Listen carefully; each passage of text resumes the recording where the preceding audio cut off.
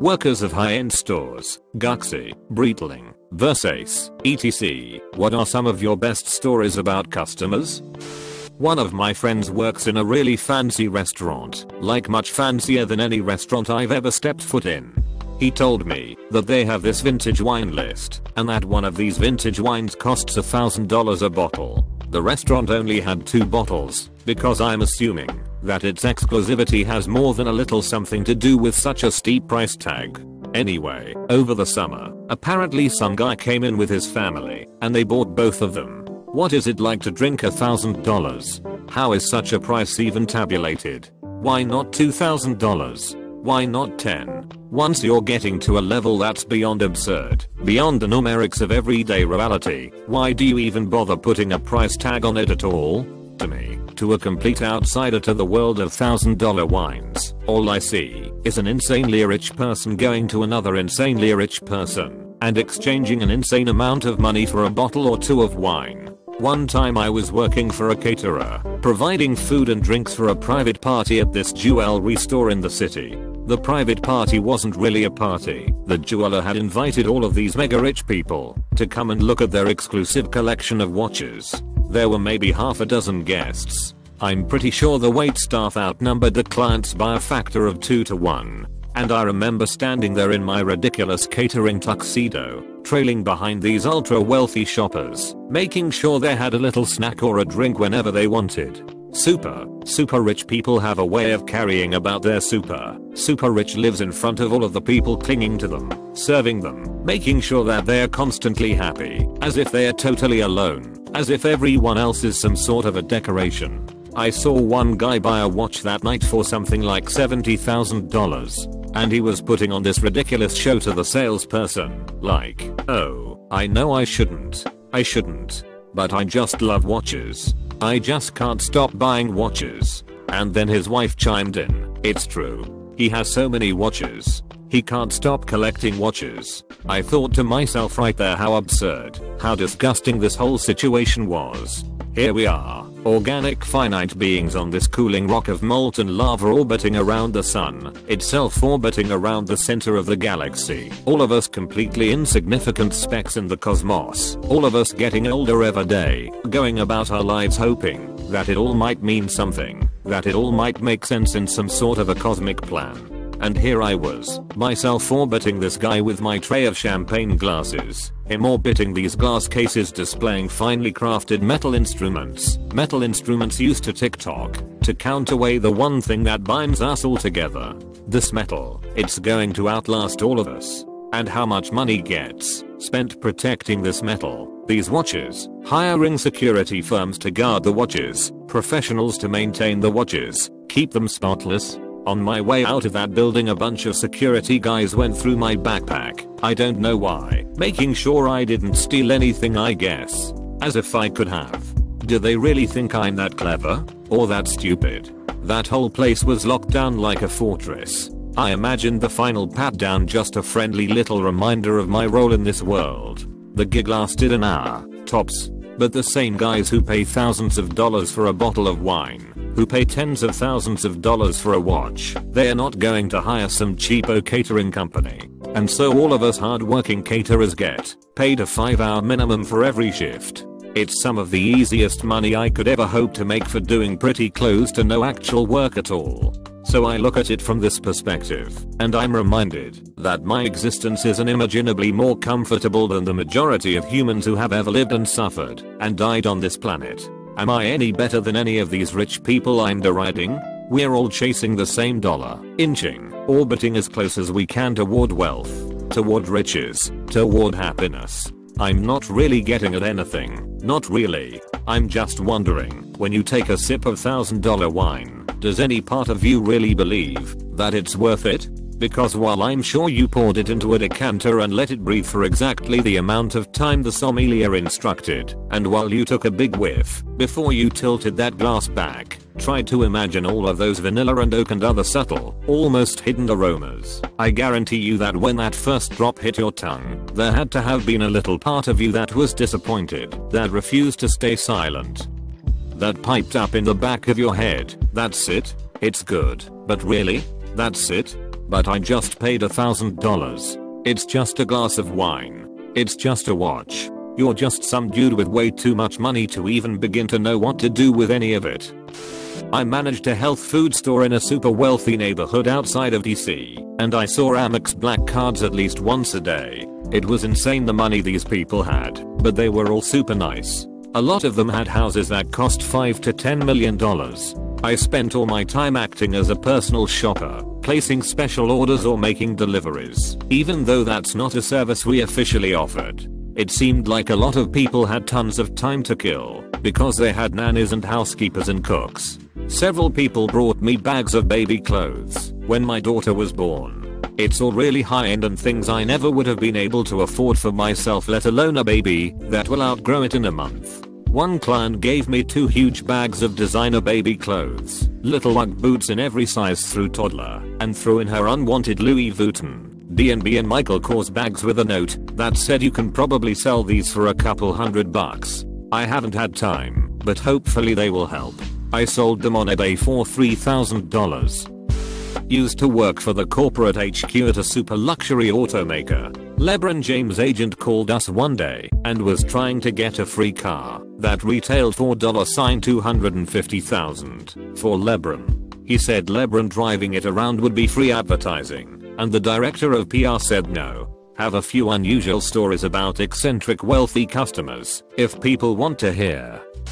I worked at an art gallery in Santa Barbara on State Street for a few months. We had a large photograph of a landscape in Africa. It was $2-3000, depending on the size you wanted it, and very beautiful. A lady liked it very much, and as I was explaining to her where the picture was taken and who the photographer was, she just nodded and said, I want this picture, but the frame in bronze. The picture had a glossy black frame I'm sorry, it's only available in black, but we have other styles of frames available in bronze. She remained indifferent and unfazed. No, I'll pay an extra $2,000 if you can get this exact style in bronze. Let me see what I can do. I disappeared into the back to tell my boss. I was shaking at the prospect of making that much in commission.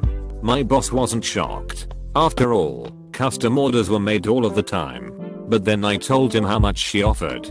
Calls were made. My boss told me it would be possible to make the bronze frame for only $700, but with one major caveat. I came back out to meet her, trying my best to look apologetic. It's going to take an extra two months, I'm afraid. As I told her, I was dripping with sorrow. I felt I was so close to making that sale. Oh, that's fine. She had a twinkle in her eye. It took a moment, I was really surprised. Who the hell pays $4,000 for a 6 feet wide photograph of a tree and some rocks to be shipped to their house in 4 months? My knees were weak as I took her to my desk and I took down her order information. We'd be shipping it to Pennsylvania, her home. I was struggling to keep a straight face the whole time while she was so nonchalant. Unfazed. Did she know she just sent me on a freaking emotional roller coaster? Also, people with American Express Centurion are rich as balls, but strangely, look like completely normal, unassuming people. I've accused the first black card holder I met of giving me a fake credit card. It's heavy and hard, and I called the manager. He told me, in front of the customer, that the card was, in fact, real, and black card holders are extremely rich, Normally being accused of giving a fake credit card would infuriate people, but this probably happens to black card owners a lot, and amuses them to no end. I worked at Versace for 3 years. We served a lot of the rich gang members and their associates, like their crooked lawyers etc. In my city there was a rivalry between two gang families which had been going on for years, so it was something everyone knew about. They had recently started a TV series based on the true events, which everyone was really into. They even delayed airing of the show in one state because there was a court case involving the real gang dudes. Anyway, part of the show played out a true event of one of our customers, a young attractive lawyer who was sleeping with a few of the gangsters and ended up losing her license to practice for obvious reasons. She had been coming in to shop recently with a younger very jacked up muscly guy and a tiny dog who they'd let run around which was annoying. She used to frequently make purchases, but he didn't so much. Only one time, when he bought a first line suit, about 3k. A few weeks later he came in with the suit and spoke to my manager. He was wanting a refund because the pants had split. Now my manager rarely would contest something like that, even if it's not our fault, so he gave him free repairs or something. I believe it was able to be fixed by the tailor. Another month later he's back, because he's ripped these bloody trousers again. This time my boss says well, no etc saying it's kind of not our fault. We speculated he was murdering people in the suit. Of course we all watched the show so dramatized what we thought this guy could be doing, that he keeps ripping his clothes. He got really fired up, possibly roids rage, and was swearing and making a fuss but left. We all joked that my boss should be escorted to his car, but nothing really came of it. Until one Friday morning at about 11am, there were no clients in the store, just the usual staff chatting, polishing things etc, and he comes in calmly holding a carry bag, silently pulls out a can of white spray paint, and calmly but quickly begins to spray paint shelf by shelf all of our handbags, prices from $2,000 to $12,000, so about $35k damage. Staff start freaking out. He actually took a swing at our one male staff working at the time and walks out. All on security camera. So we obviously have his full details in our system. Duh. So we were able to tell the police everything. They come, take statements from everyone, and take the evidence away. Being in retail, the staff talk a lot, so someone must have mentioned his connection to this lawyer woman with gang affiliations. Long story short, this all leaks to the media, in the newspaper etc. She ends up doing a 60 minute special about it all. The guy goes to prison, the whole deal.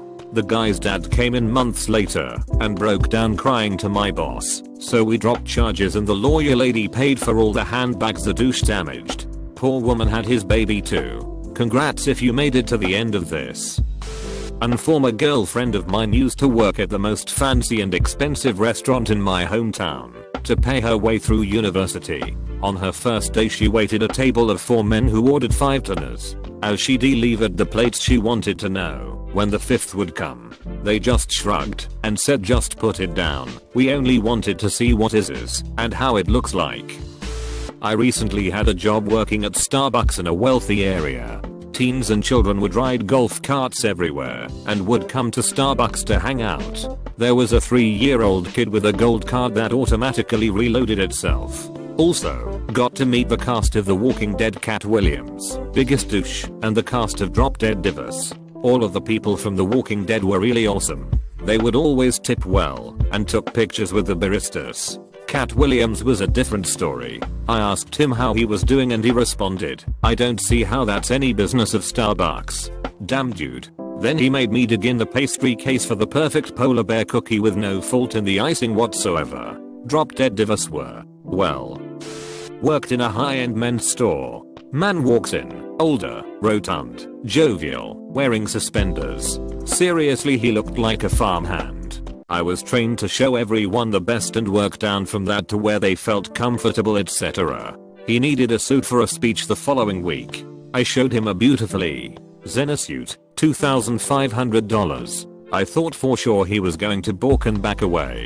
Didn't even bat an eye. Turns out he was Fritz Maytag, widely considered the father of American microbrews, heir to the Maytag fortune. He was an absolute gentleman, refined despite his farming looks, and full of great stories. In my 14 years working in luxury, I learned one thing, people with real money, not just a few million, but substantial wealth, are often some of the most gracious people I've met.